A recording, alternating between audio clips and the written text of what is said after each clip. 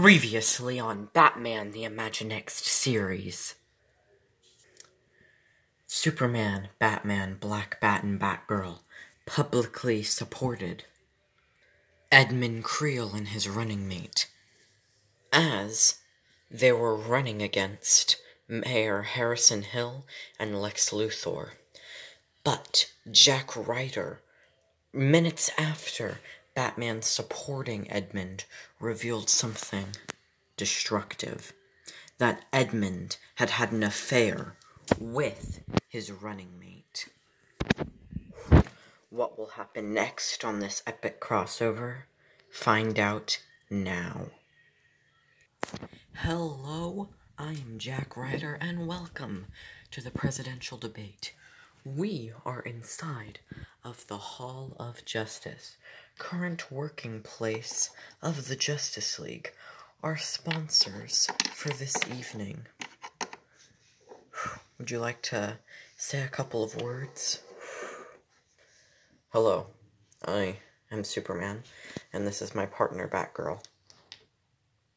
And despite our bias for one of the candidates, we would like to say good luck and we are honored to be hosting tonight's debate. Thank you.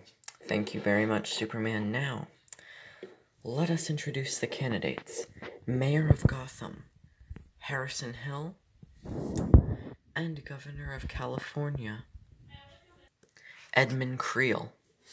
Now, tonight's debate will cover a range of topics from yeah, yeah, yeah, just get to the affair.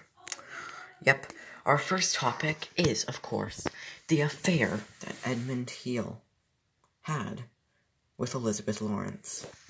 Edmund, you get one minute on this. Good luck. I am disgusted and revolted by my own behaviors. I was greedy and bored. But do not let this discourage from what I have done as a governor and what I will do as a president. The reason I did what I did is just so that I could get put to work. I was bored out of my mind as being governor of California was no longer challenging for me. I had done everything I needed to do for the great city of the state. I had the affair out of boredom and stupidity, and I promise nothing like it will ever happen again. Thank you. Now, another question for Edmund, and it's also about the affair. Despite you having an affair with the woman, why did you still decide to choose her as your running mate in the election? Because, despite what happened between us, she's the smartest politician I've ever met. She is a hero. And she deserves a shot at helping to run the country. Thank you, thank you. Harrison Hill, your response. Uh, thank you, Jack. And I, myself, find his behavior truly revolting. The man cheated on his wife with our possibly soon to be vice president. The president and the vice president should never be acting this way. We shouldn't have young, impressionable, gluttonous people in the White House. Now, he says that this was a one time thing, but we don't know. He could be seeing her every night for all we know. We know he's a liar and we know he hid this from us. So the truth is, what else is he hiding from us? Thank you, Mayor Hill. Now let us get to the next topic. This is bad, Superman. Huh, I know. It's like a train wreck that I can't save. Two hours later. Alright, thank you. This has been the presidential debate. And now we are going to be doing the vice presidential debate. Right now. Due to scheduling errors, the debate had to be rescheduled. So, we moved the vice presidential debate to today. Now, please welcome our vice presidential candidates. Lex Luthor and Elizabeth Lawrence. Now, Governor Luthor, our first question is to you about health care. Thank you, Mr. Ryder. Oh no. Yeah. Why would you do it, Edmund? You knew this would be risking your entire career. Barbara, I didn't do it. What? All right. Follow me. I need to tell you a secret. Come on. So, what are you saying, Governor? You didn't have an affair? No, of course I didn't. The thing is, Elizabeth is a superhero, just like you. What? She can fly, shoot lasers, you know, all the good stuff. And I'm her political informant. By day, she's a congresswoman. By night, she saves lives. She goes by Liberty Woman. Liberty Woman? I've met with Liberty Woman. Ah, we're not close enough to know each other's identities yet, though. Yeah. But how does that explain you having an affair with her? Alright. There was an attack when we were at a party we suddenly left the party because we had to get down to her secret base, which was inside the Senate. Someone followed us and started recording. to hide suspicion and her secret identity, the two of us started kissing. Oh, yeah. Wow, I can't believe she's a superhero. Yeah, Ugh. Why didn't you think of a better excuse? It was spur of the moment, Superman. Well, if that's your decision making, I don't know if I want you as my president. Then why did you endorse me? Because I really don't want the other candidate to be president. Let's go back, girl. Goodbye, Edmund. Oh, God.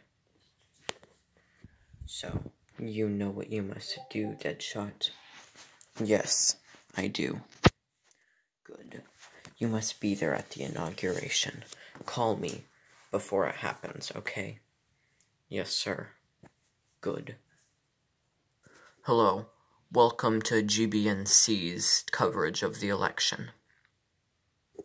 Currently on the map, Mayor Hill stands with 200 electoral votes, and Edmund Creel with 170.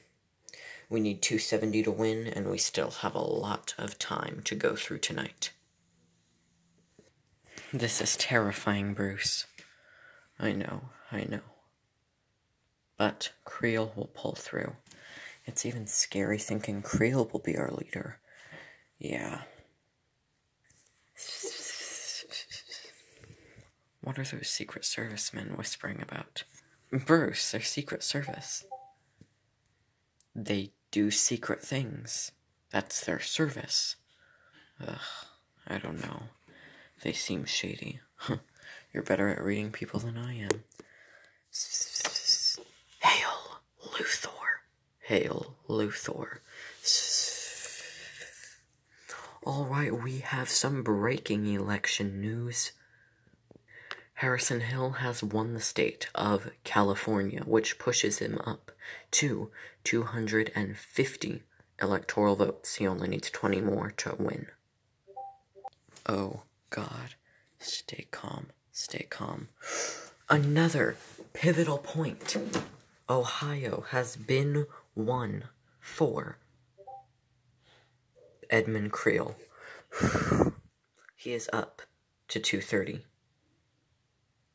two hours later. And that does it. Harrison Hill has won the state of Iowa. We can now project that Harrison Hill will be the next president of the United States with two 700 electoral votes. We need to get back to our cities right now. I just can't believe we lost Liberty Woman. I I know, but I'm still a superhero. We can still help this country. Yes, we can. Edmund. Shh.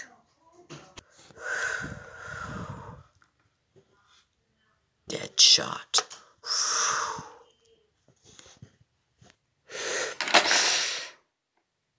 Uh,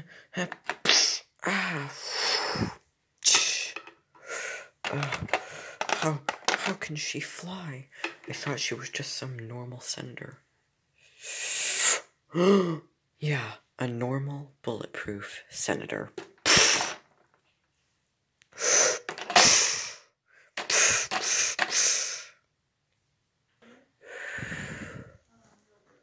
Deadshot was locked up, Mercy.